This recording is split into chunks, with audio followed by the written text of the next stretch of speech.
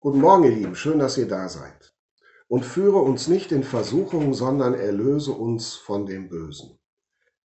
Das ist die letzte Bitte, über die ich mit euch nachdenken möchte aus dem Vater Unser, mit dem wir unseren Tag beginnen. Das Vater Unser ist ein ungemein realistisches Gebet, weil es anerkennt, dass es immer wieder Versuchungen gibt im Laufe eines jeden Tages. Wir alle sind immer Versuchungen ausgesetzt, Versuchungen zum Bösen und nicht nur denen im lila Papier. Die Frage ist, wie wir damit umgehen.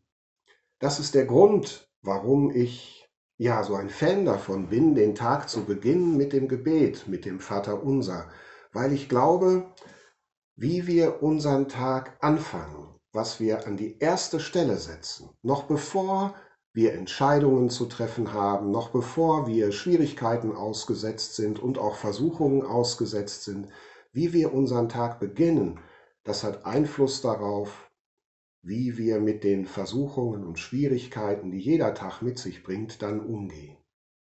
Wenn wir unseren Tag beginnen mit dem Gebet, mit dem Vater unser, dann setzen wir Gott an die erste Stelle.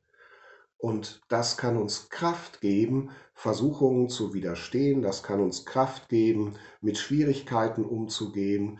Das kann uns Kraft geben, auch mit schwierigen Menschen umzugehen, mit denen wir es vielleicht zu tun kriegen, weil wir setzen Gott an die erste Stelle. Deshalb mache ich euch Mut, auch heute wieder zu beginnen mit dem Vater unser und dann zuversichtlich, hoffnungsvoll und ermutigt in den Tag zu gehen.